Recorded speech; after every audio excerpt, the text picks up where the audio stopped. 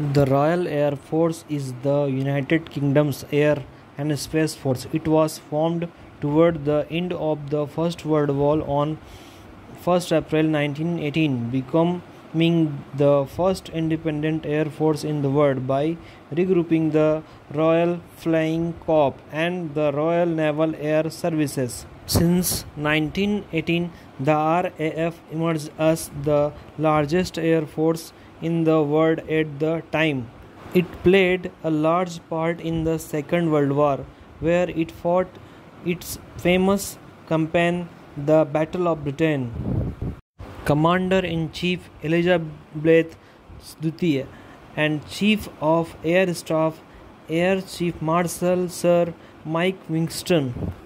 Today, the Royal Air Force maintains an operational fleet of various types of aircraft. For attack, MQ-9A Reaper, fighter jet, Eurofighter Typhoon, Lockheed Martin F-35B Lightning, multi-role helicopter, Boeing Chinook, training helicopter, Airbus helicopter.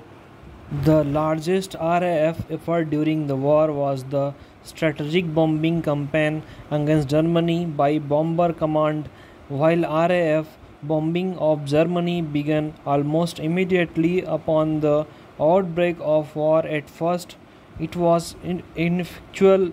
It was only later, particularly under the leadership of Air Chief Marshal Harris.